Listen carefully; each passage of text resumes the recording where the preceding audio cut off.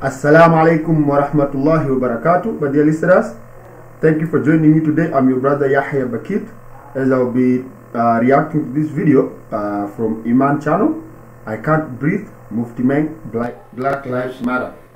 Uh, as we all know, uh, there is a currently an ongoing protest worldwide, uh, which came in uh, as a result of what happened, what an unfortunate incident that happened to one uh, uh, Mr. George Floyd. You know, the incident happened in the U.S. where an officer uh, was uh, a video emerged on the internet. We showed uh, an officer kneeling on his neck for several minutes, around nine to ten minutes. Then, which unfortunately led to the death of that uh, the man George Floyd, which has sparked a lot of protest and all that and uh, there's ongoing uh, campaign and protest over um, by people of different community over the fact that Black Lives Matter, and uh, there is uh, uh, there are people out uh, people world, worldwide are advocating for um, justice and you know better treatment of, of the black people in the communities. So from this video, I think uh, maybe we can learn uh, from the Islamic perspective what our Sheikh uh, Mufti Naim thinks about this incident and possibly will also react to the information we get. So without wasting so much time, let's get into this video and understand the content. Our beloved guest, uh, Sheikh Mufti Minks, Assalamu alaikum wa rahmatullah. Wa alaikum assalam wa rahmatullahi wa barakatuh. MashaAllah, I'm just listening into the beautiful discussion, and I think it's such an opportune moment to reflect over our own condition and uh, how best we can improve ourselves, inshallah, in this regard.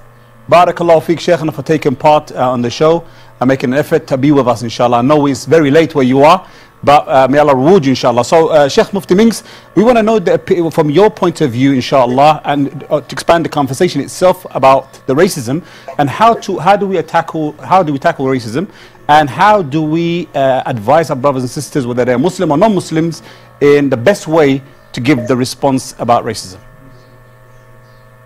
بسم الله الرحمن الرحيم الحمد لله والصلاة والسلام على رسول الله وعلى آله وأصحابه أجمعين I think what's important for me to do is to put myself into the situation and remind myself who I am and what is the whole aim of me being on earth. So if I were to talk to myself, I would say I was created by Allah, Rabbul Izzati wal Jalal. When I came onto earth, I found I was not alone. I found that there are so many others whom the same Allah made while I'm on earth, I also learned that my duty is to please Allah. Everything that I find on earth is a test for me. Allah is going to watch whether I actually manage and process and do that which will please Him or displease Him. So when I came, I found my parents, my rights that I need to fulfill towards my parents. It's a test for me or against me be they Muslim or not. The same applies. I found so many different races. Allah subhanahu wa ta'ala says, وَجَعَلْ شعوبا وقبائل لتعارفوا Surah Al-Hujurat. I'm sure we all know this. Allah addresses mankind and says, we've made you into different people, different yeah. tribes, races, etc in order that you recognize one another.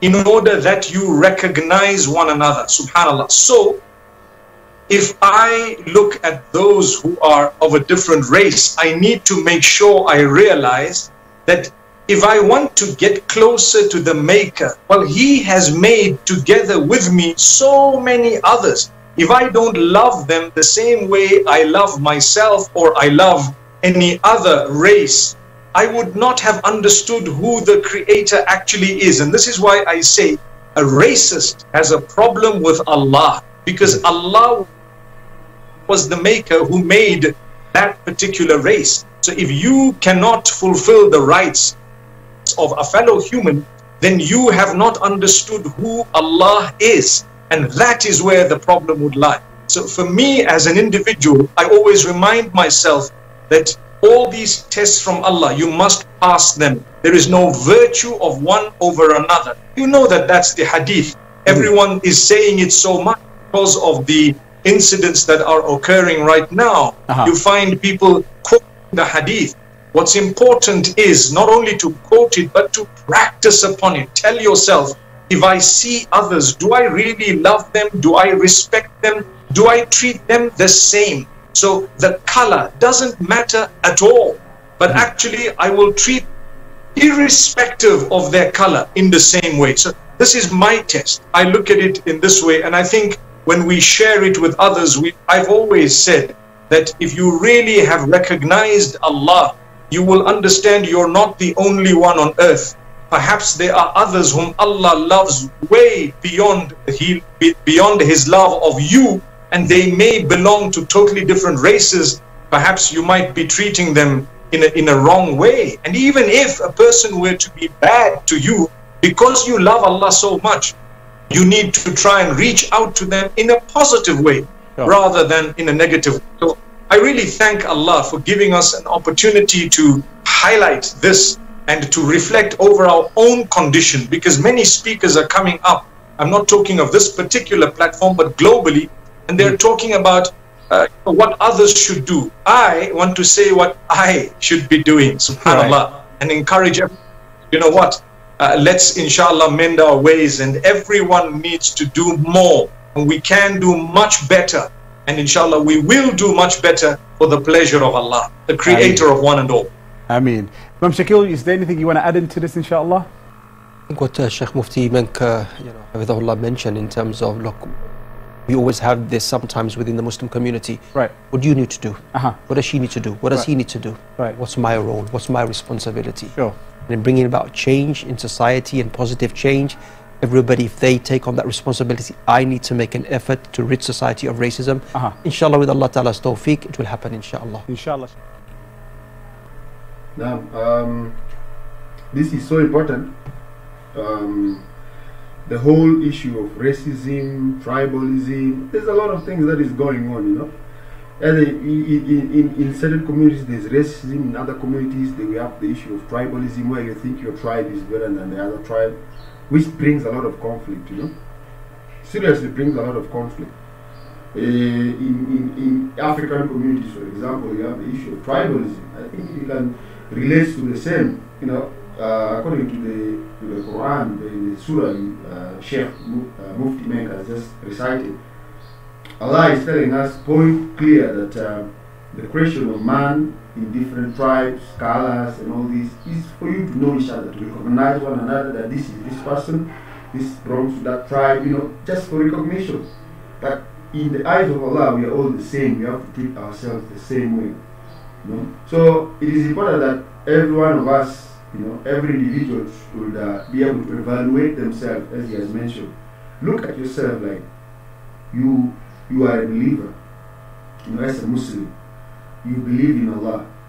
Now, how does it help for you to go against uh, the preaching of Allah, of, of, of equality, of treating people the same way?